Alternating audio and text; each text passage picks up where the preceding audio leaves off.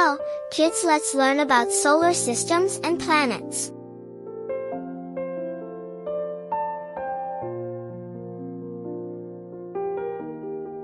The Sun The star of the show, the Sun is a big, bright ball of burning gas. It's in the center of our solar system and gives us light and heat.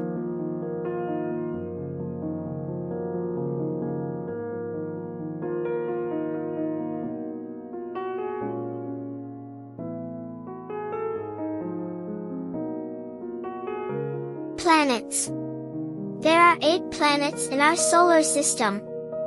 Here they are, in order from the Sun. Mercury.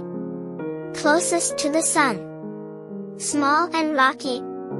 Very hot during the day and very cold at night. Venus. Second planet from the Sun. Similar in size to Earth but much hotter. Covered in thick clouds that trap heat. Earth. Third planet from the Sun. Our home. Has water, air, and life.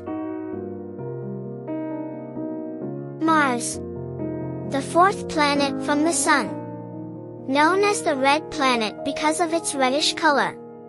It is the largest volcano and canyon in the solar system. Jupiter. The fifth planet from the Sun. The biggest planet in our solar system. Has a big red spot, which is a giant storm. Saturn. The sixth planet from the Sun. Famous for its beautiful rings made of ice and rock. Second largest planet.